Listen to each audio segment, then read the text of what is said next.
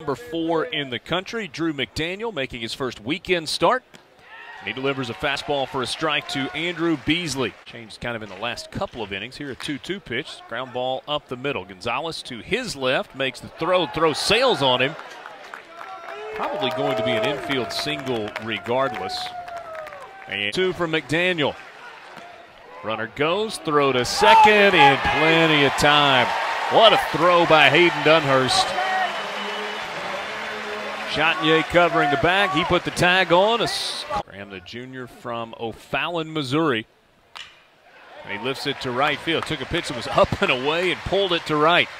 Kevin Graham will make a big turn at first and stops with a leadoff single. Chopper on the right side. That should get a run home, and actually everybody's going to be safe.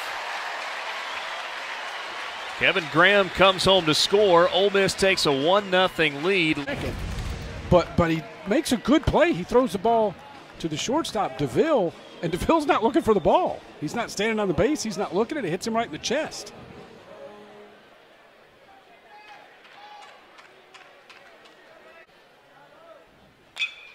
Justin Bench lifts it to right field. Henry comes in and makes the catch, and Ole Miss strands a couple.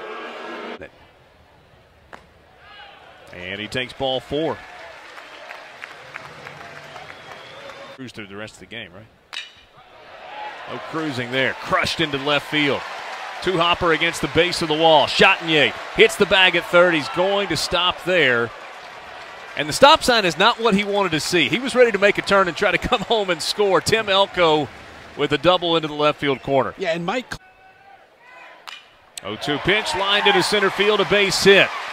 Chatagnier comes home to score. Here comes the throw into the infield. Elko comes around to score a two-run single for Kevin Graham, and Ole Miss leads it three to nothing. And Michael Federico tries to sneak a fastball by Graham. Two straight at bats. Kevin Graham's taken the ball up and out of the zone and gotten a base hit on it. It's not like trying to sneak a fastball at the knees right over the heart of the plate. Good hitting from Kevin Graham. Two for two with a couple of runs driven in. 2 2 coming. Breaking ball, and that one is a beauty. Back door. Calvin Harris goes away looking, but a big strikeout. He kind of pointed his bat at the home plate umpire like it was a sword. This ball all the way to the right field wall. Mason Holt makes a big turn at second. He's going to try and turn it into a triple. Chatagnier with the throw, not in time. Boy, Holt can run. That's exactly what Holt did. And this ball is lined up the middle for a base hit, pulled just to the right of the second base back. Good piece of hitting by Hummenyuk.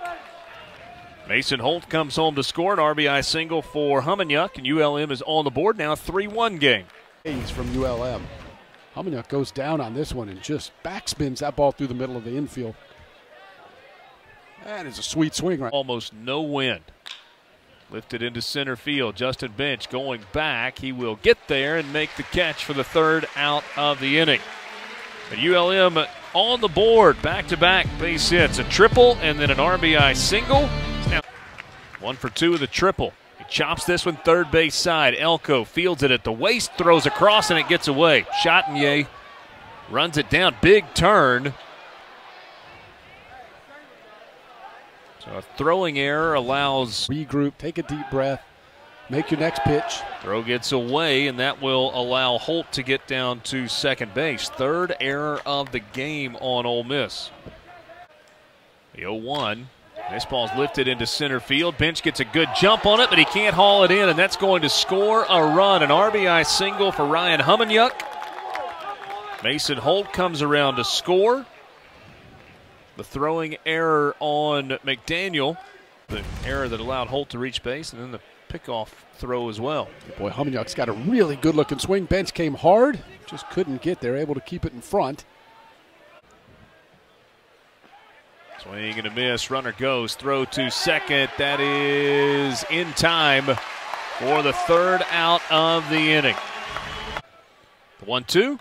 Dunhurst jam, slow roller, right side. First baseman covering, and he just gets there. The pitcher just gets there. Carson Orton had another full count pitch coming to Elko.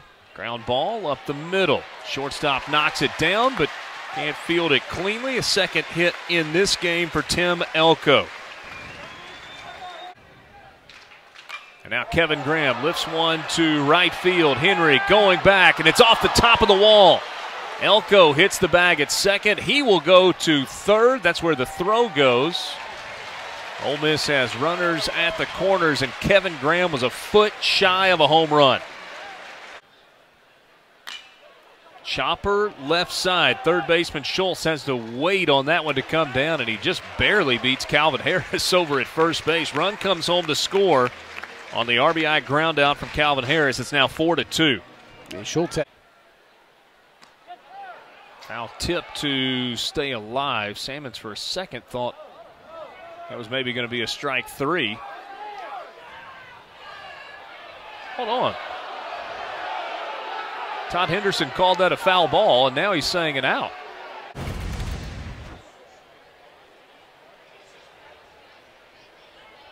He caught the ball in the backswing. Mike Bianco will continue to argue. It is 4 to 2 in the bottom of the seventh inning. And this fans cheering on the animated Mike Bianco. We'll be back.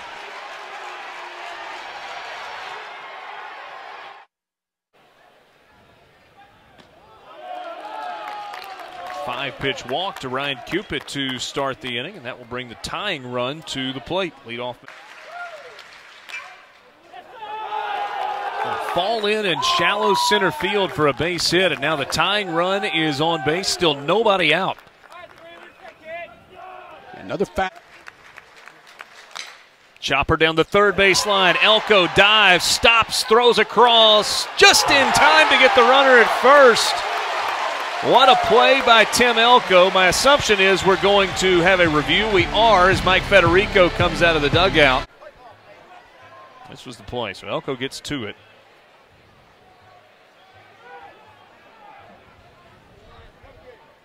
Run comes home to score on an infield single by Mason Holt. He picks up an RBI.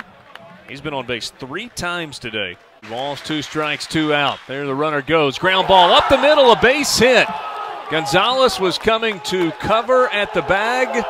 And so the runner in motion works perfectly for ULM, and we are tied at four.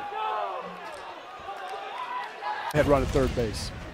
How about the day that Ryan Hummenyuk has had at the plate? Three for four with three of ULM's four runs driven in. And just perfect timing right there. Again, I think that ball is fielded. The 0 2 off the plate.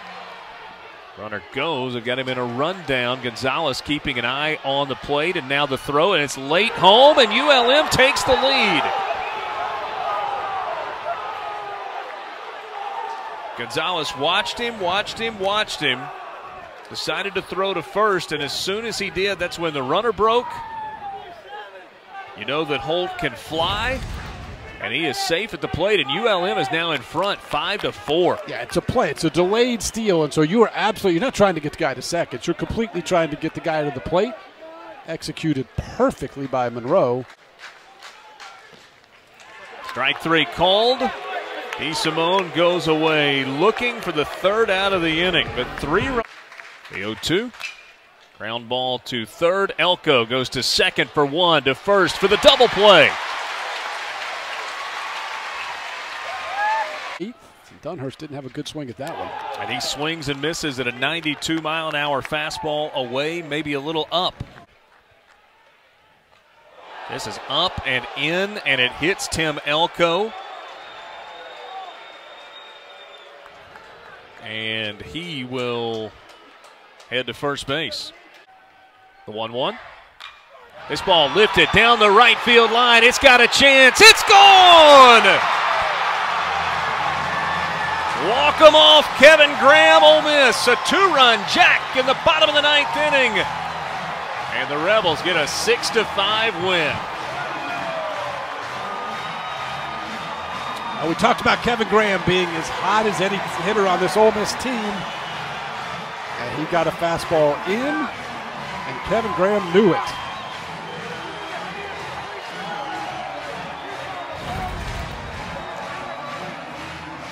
Fastball middle in. And everybody on the field knew that was ball game. Watch the reaction in the Ole Miss bullpen.